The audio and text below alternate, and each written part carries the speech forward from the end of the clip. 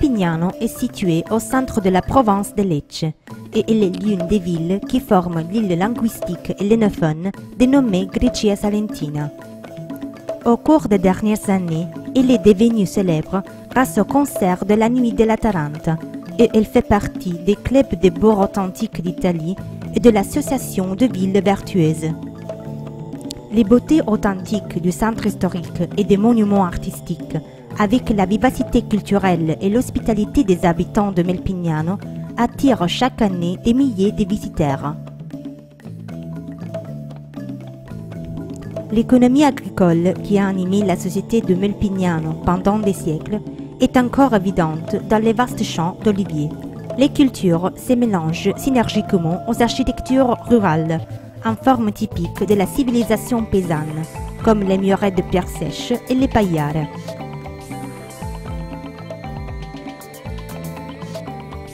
Dans ces zones vertes, il est possible encore d'admirer des importantes structures liées à l'ancienne société agricole. Un exemple, c'est la ferme San Loi ou Sant'Eligio, datant de 1576. Sur la façade, on peut noter encore les signes typiques des fortifications défensives, comme les caractéristiques machiculi situées au sommet de l'entrée principale.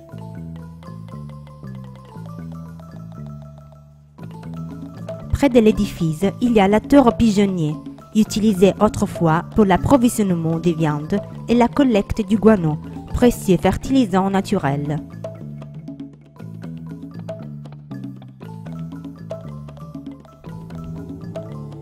Les campagnes abritent de nombreuses carrières situées en direction de la commune de Corsi.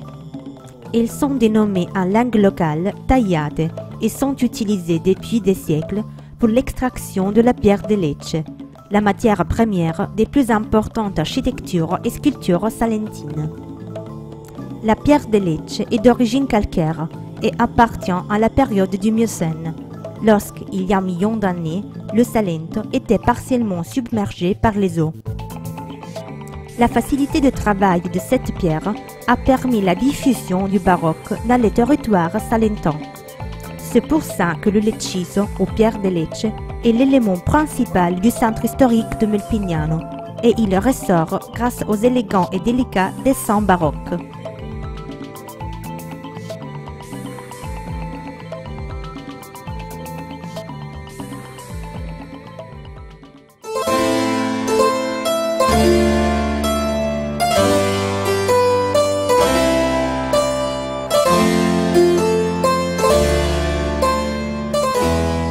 Les liens étroits entre art et territoire est visible dans les précieuses architectures qui apparaissent aux yeux des visiteurs dans un large éventail d'édifices, de styles et d'époques différents.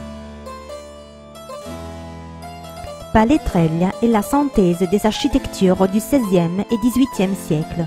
Il est caractérisé par un grand lac décoré avec palmettes et fleurs et par l'adjacent oratoire de Saint-Michel, où on peut noter la précieuse statue de Saint Michel.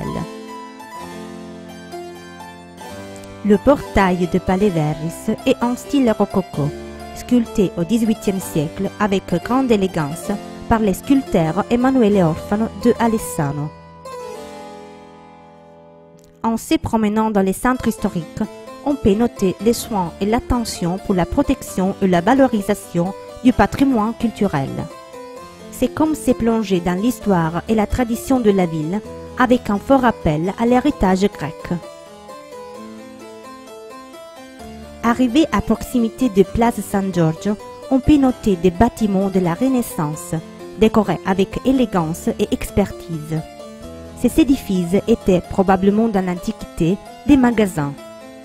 Pendant des siècles, la place, située dans la périphérie du centre historique, a été le cœur battant de l'économie locale. Les caractéristiques arcades périmétriques encadrent la place. Elles sont un modèle d'architecture mercantile du XVIe siècle, rénové au cours des siècles. Sa construction a été voulue par l'humaniste local Niccolò Majorano, dans le but d'héberger et organiser les activités des marchands qui animaient l'économie de la ville. Autrefois, les commerçants venaient de toute l'Italie, notamment de Naples, Bari et Lecce, pour la vente de différents types de tissus comme la soie et la laine.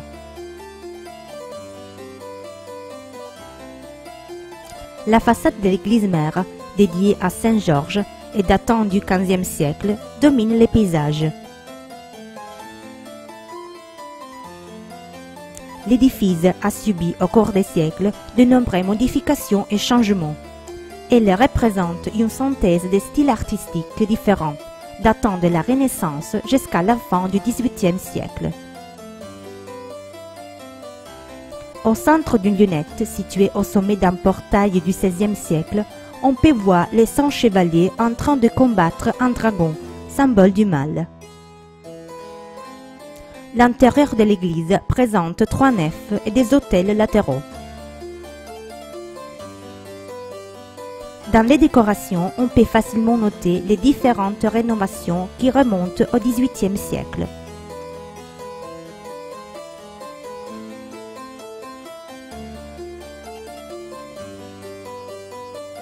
À côté de l'église paroissiale, il y a la jolie église de l'Assomption, dédiée aux saints Rocco et Sébastien.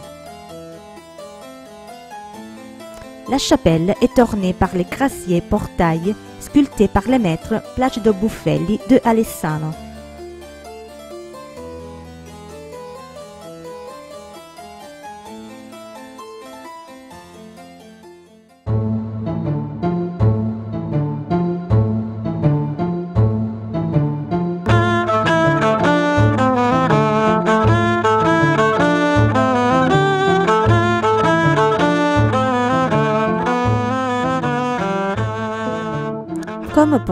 Plupart des anciennes structures défensives feudales, le palais du marquis de Melpignano est le produit d'une rénovation architecturale survenue au XVIIe siècle, qui a conduit à la transformation de la forteresse en palais nobiliaire. La construction du nouvel édifice représentatif a été voulue par le seigneur feudal Giorgio Castriota comme le témoigne l'inscription apposée sur la bande au sommet de la façade.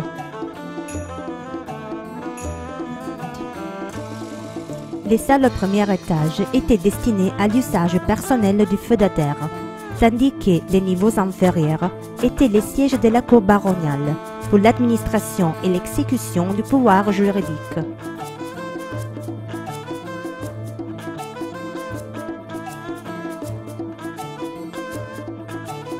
De l'ancien manoir, il ne reste que le fossé et les puissants rideaux défensifs méridional, caractérisés par les tours et la passerelle de garde. À l'intérieur du palais, on peut profiter du joli jardin l'italienne, valorisé par la présence d'une pergola et d'éléments architecturaux nobiliaires, qui offrent aux visiteurs un spectacle magnifique.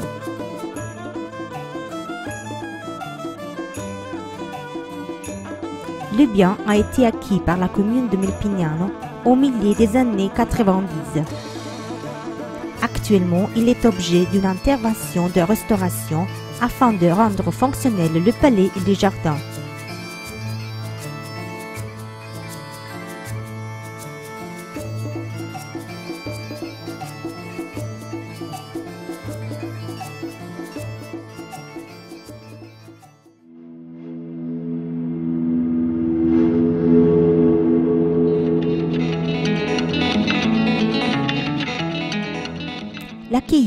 Et les services d'information sont organisés dans la maison du touriste, située dans Via Roma, au cœur de la ville. Autrefois, l'édifice était utilisé comme entrepôt pour les activités de collecte et transformation de tabac. La maison du touriste offre aux visiteurs la possibilité d'entrer au cœur du patrimoine culturel de la communauté de Melpignano pour réserver par exemple des visites guidées dans les bourgs ou pour rechercher des informations et curiosités sur les territoires. L'environnement est confortable et accueille différentes activités culturelles comme ateliers et conférences. De plus, dans la salle grande, on peut admirer l'ancienne horloge civique, récemment restauré et offert au public.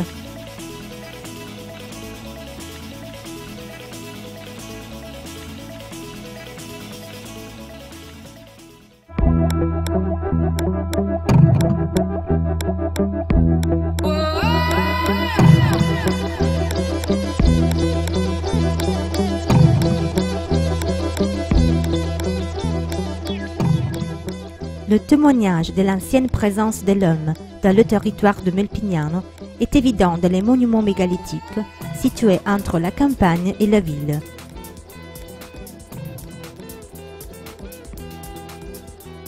Le menhir Calamauri, situé près de la zone industrielle de la ville, a une hauteur de 3,70 m, tandis que sa base mesure en largeur 50 cm. Sur la surface du menhir, on peut noter des incisions cruciformes. Le menhir Lama est situé au centre habité de la ville, dans la place Silo et près de la chapelle datant du XVIe siècle dédiée à Saint Antoine Abbé. Il mesure 4 mètres 20 avec une base de 30 cm. La propriété rurale Minonne a donné son nom à l'homonyme menhir, situé dans la périphérie de la ville. Il a une hauteur de 2 mètres 80 et une base de 50 cm. La ferme Cineo di Tamburrino héberge l'homonyme menhir de Melpignano. Sa hauteur actuelle est de 1 mètre 90 avec une base de 50 cm. Dans le parc du souvenir, il y a un ancien monolithe réutilisé autrefois comme colonne décorative et connu comme menhir Osanne. En haut, il présente un chapiteau décoratif surmonté par une croix, tandis que sur la base, on peut les blasons civiques de l'Universitas de Melpignano, un arbre de pins planté sur un rayon de miel. Le patrimoine culturel de Melpignano est très varié. La ville présente un paysage très intéressant, caractérisé par les typiques architectures rurales, fruit du travail millénaire de la civilisation paysanne.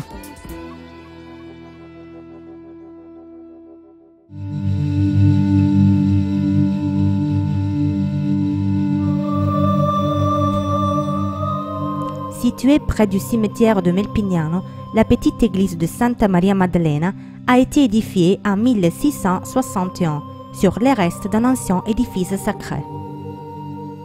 Le culte de Marie-Madeleine devint plus fort vers 1656, quand les habitants firent confiance à la protection de la sainte lors de l'épidémie de peste qui frappa l'entier royaume de Naples. En effet, sur l'autel majeur, il y a les statues de Saint Lazzaro et Saint Oronzo, invoquées par les fidèles pour la protection des maladies épidémiques comme la peste. L'édifice conserve aujourd'hui encore sa grâce, témoignage de la dévotion religieuse des habitants de Melpignano pour la sainte pénitente.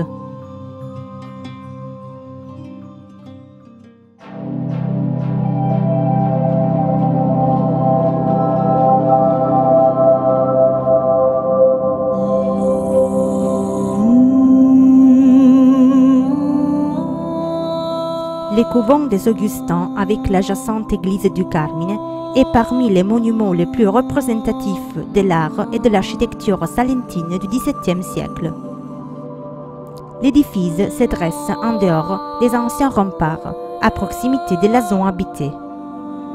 Il a été réalisé en 1638 par le célèbre maître Francesco Manuli de Corigliano d'Otranto.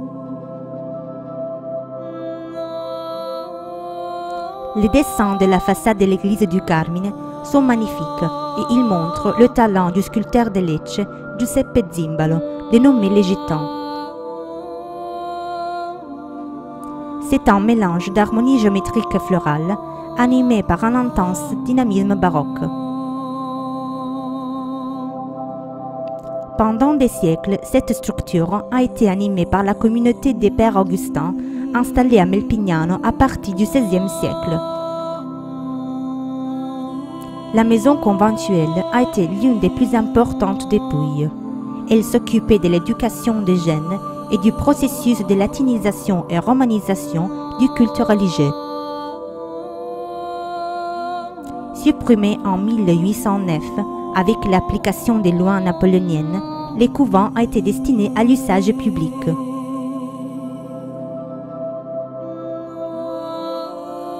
Heureusement, ce complexe architectural a été rénové et resplendi dans un nouveau cadre culturel.